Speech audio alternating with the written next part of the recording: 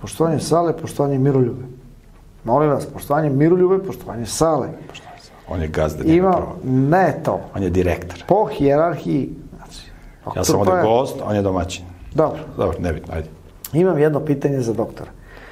Imam 18 godina, živim u Valjevu, verujem u Boga, trudim se da živim pobožno, ali bih voleo da odem u Beograd, završim pravni fakultet i jednog dana postanem advokat. Interesuje me vaše mišljenje o tome kako Bog gleda na posao advokata u današnjem vremenu i da li je pametno uopšte što hoću da idem u Beograd. Beograd, u Beograd. Ne preporučujem ti prijatelju da ideš u Beograd.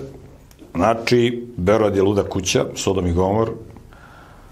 Advokatski posao, možeš ti da radiš advokatski posao ako ćeš da radiš neke parnice, puteve, ne znam i tako nešto. A da ti radiš u Beogradu ova krivi, krivicu i ovo lud, ova ludila, znači ne preporučujem ti nikav posao koji, će, koji ćeš biti vezan za grad. Advokatski posao je posao koji je vezan za sistem, demokratski korumpirani sistem, znači to je pravosuđe Mickey Mouse, tako da u ovom svetu pravde nema i sad ti da isteruješ pravdu u svetu kojem pravde nema, to je to je kao kad bih hteo da uvodiš moral u javnu kuću.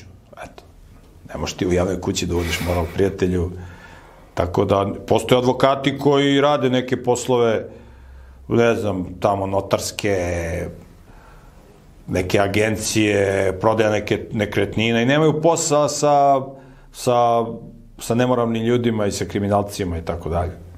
I rade tako neki posao, ali tako da i to onda može se radi iz malog grada. Advokatski posao. A ovaj, i ako, mislim, ja ne preporučujem advokaturu, ali ako hoćeš, od advokature može da, im- mislim, to je dugo traje. Ako upisuješ, upiši neki privatni advok, ovaj pravni fakultet, nemoj ove državne, ovi državni, to je maltretiranje, to se teško se završava, a ovi privatni se lakše završavaju. I to je ispiranje mozga, ali i 95% stvari koje budeš učio, ti nikad neće trebati u poslu. Posle moraš da ideš na da tamo, da stažiraš, da ovo... Ne preporučujem, ne preporučujem advokaturu uopšte. Iznajmi garažu u svom mestu, zaposli auto električara i samo broj pare. To ti je posao, bata, baja. Baja posao. I nemaš posla s kriminalcima, baja radi posao, ti naplaćuješ, on nije u stanju. Ima autoelektričara koji imaju svoje radnje, imaš puno autoelektričara koji nisu u stanju da pokrenu svoj prijatan biznis. Ti ga pokreneš, brate. Zaposliš ga da radi posla, posla ko salate.